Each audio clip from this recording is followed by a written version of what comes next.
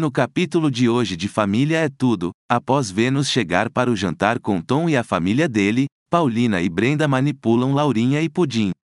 Em seguida, a doida da Paulina não perde a chance e tenta constranger Vênus durante o jantar. Mas as coisas ficam tensas quando Laurinha e Pudim ofendem Vênus após ver as notícias sobre sua prisão, e Tom se irrita e dá uma bronca nos filhos. Infelizmente, Vênus vai embora muito magoada por ter que passar por todo aquele constrangimento. Enquanto isso, Jéssica se desespera ao pensar que Luca pode perdoar Electra. Lupita, após ser solta, vai para a pensão, e será afetiva com Guto, que passa mal ao receber carinho da guatemalteca.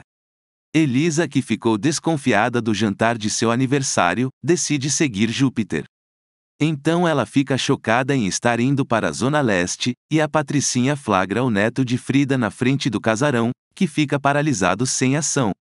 Luca, todo feliz, conta para Murilo que reatou com Electra, que faz uma cara de paisagem para o irmão. E assim termina o capítulo. Para receber os resumos, inscreva-se no canal.